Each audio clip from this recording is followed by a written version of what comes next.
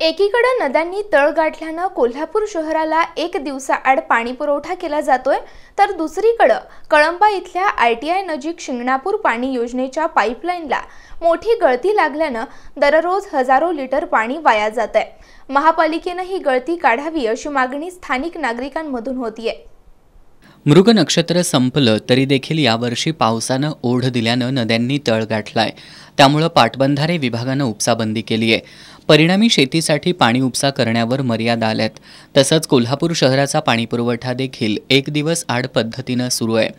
एकीकडं ही परिस्थिती असताना दुसरीकडं शिंगणापूर पाणी योजनेच्या पाईपलाईनला कळंबा आय टी आयजवळ मोठी गळती लागल्यानं दररोज हजारो लिटर पाणी वाया जात आहे या पाईपलाईनमधून गळती झालेलं पाणी आय टी आय नजीक असणाऱ्या शिंदे अंगण परिसरातून वाहत आहे गेली चार वर्ष अशाच पद्धतीनं या गळतीतून हजारो लिटर पाणी वाया जात आहे नागरिकांनी वेळोवेळी मागणी करून देखील महापालिका प्रशासनानं ही गळती काढलेली नाही.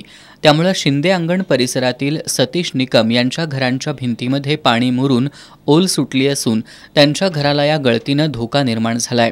एकीकडं पाण्यासाठी शहरवासीय वणवण करत असताना दुसरीकडं मात्र दररोज हजारो लिटर पाणी वाया जात आहे याकडं कोल्हापूर महानगरपालिका प्रशासन सोयीस्कर दुर्लक्ष करतंय का असा प्रश्न इथल्या नागरिकातून विचारला जातोय. गेले चार ते पाच वर्ष आलं पाण्याचं लिकेज जे आहे ते मोठ्या एकदम मोठ्या प्रमाणात आहे. आणि हजारो लिटर पाणी दररोज वाया जाते. आणि याच्याकडे कोणीही लक्ष देत देत नाही.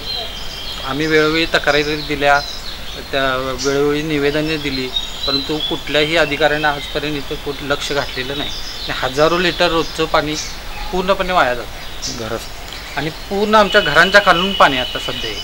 इथं दिसेलच तुम्हाला इकडे सगळं.